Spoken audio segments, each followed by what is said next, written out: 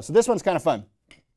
You're going to need a little bit of lotion and a spoon, all right? Pretty simple. It's not, um, not that much of a rocket science move, and you don't need to have all this stuff here that's like fancy. Instead, we're just going to put a little bit of lotion on the back of the spoon here, and we're going to just rub that lotion onto the arch of the feet, right? And then we're going to turn the spoon on its side like this, and you're just going to scrape up the arches like this. And you'll feel a little bit of crunchy tissue there, and we'll scrape it back down a little bit over. And we're just going to continue that motion across the foot. So if you have a little bit of uh, discomfort in this area, that's a little bit fine, but we're just trying to get blood flow to this area. And scraping the foot like this can create a lot of blood flow to the area and can also create flexibility in the fascial tissue. If, it, if you have issues with your heel, you can do it on your heel too, but I'd like to use the two hands when we're doing on the heel. So you're scraping a little bit more uh, with a little bit more intensity because the heel's a little bit thicker. But by doing this across the arches, we can bring blood flow to the feet, and that's a really great way to start doing rehabilitation of the feet.